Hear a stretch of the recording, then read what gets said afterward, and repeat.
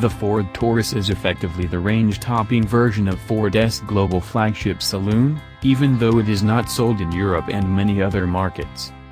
The Taurus started life as the Ford 500, a large saloon with strong styling overtones of the landmark 1997 VW Passat. It was launched in 2004 and was based on the original Volvo S80, using the Swedish company's P2X platform. Like the S80, the 500 was available in front and four-wheel drive. The car was renamed and restyled in 2007. It is rumored that new Ford boss Alan Mulally was baffled that Ford had dropped the Taurus nameplate. A touch over 5 meters long, the Ford Taurus has unusual proportions in the flesh. From a distance the car looks like a normal large saloon. Close up, the height of the car's line and rear deck becomes apparent. And the boot is huge especially in height. The front seats are also positioned rather higher than normal.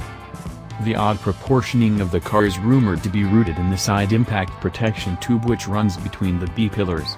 In the Volvos based on this platform, the tube runs through the front seat frame. In the Ford, the seat frames are positioned on top of the tube, raising the seat height and causing the whole upper body to be reproportioned to take this into account.